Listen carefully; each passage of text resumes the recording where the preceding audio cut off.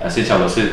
À, được biết là vào chiều ngày 6 tháng 11 vừa rồi thì Hội đồng thẩm phán Tòa án Nhân dân tối cao tuyên hủy các bản án đã tuyên đối với ông Nguyễn Thanh Trấn. Vậy thì luật sư nhìn nhận về quyết định này như thế nào? Tòa án tối cao đã có một cái quyết định như vậy là nhanh và cái việc làm như thế là cần thiết. Chậm việc xảy ra đã 10 năm nay rồi nhưng mà chậm còn hơn không. Và nhân dân mong rằng cái việc phải làm nhưng mà làm không nên làm cho qua chuyện mà làm cho đến nơi đến chốn À, trong vụ việc này thì mới đây nhất thì Chủ tịch nước Trương Tấn Sang đã có chỉ đạo rằng là phải khẩn trương minh oan, đền bù và khôi phục quyền lợi hợp pháp cho người bị oan. À, đồng thời thì các cơ quan tố tụng sẽ phải điều tra làm rõ, xử lý nghiêm những người phạm tội và những sai phạm tập thể cá nhân thuộc các cơ quan tiến hành tố tụng điều tra, truy tố và xét xử đối với công dân Nguyễn Thanh Trấn. Vậy thì qua sự việc này thì luật sư có đánh giá như thế nào về nhận định rằng đây có thể được coi là một cái dấu hiệu tích cực của pháp luật để tiến tới một cái xã hội pháp quyền. Tôi cũng đã trải qua xử lý nhiều cái vụ án oan.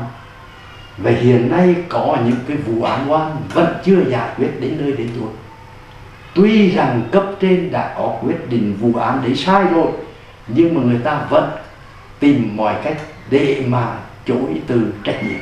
Cho nên tôi đánh giá rất cao chủ tịch nước trong cái trăm công người Việt mà có quan tâm chỉ đạo như vậy đấy là một cái điều cũng dầu sao nhân dân cũng thấy rằng đây là một cái điều bắt đầu thấy rằng là nhân dân hy vọng được nhiều hơn và mong rằng là lời chỉ thị của chủ tịch nước sẽ được chấp hành một cách nghiêm chỉnh đến nơi đến chốn.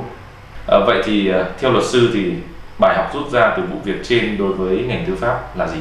Bài học lớn nhất chúng tôi nghĩ rằng cần phải nhạy cảm hơn, cần phải quan tâm hơn, cần phải có cái tấm lòng rung động hơn đối với những cái đau khổ của nhân dân.